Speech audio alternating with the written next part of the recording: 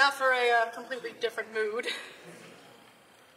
The good ship Spike is not yet out of port, and yet each blast of the horn I know to be my death knell.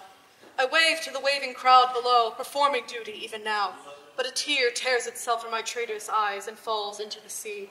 No, I will not live to see the end of this voyage.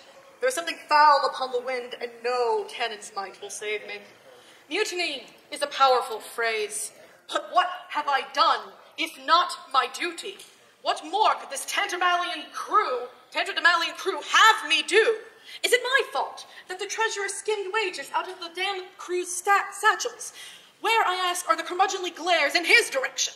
And is it my fault that the sea beast trove was its young, and not the pearls the first mate promised? Where, pray tell, is his mutiny? No, these fools know not how to lead the blood and the sacrifice it demands. But they know even less of what I have done.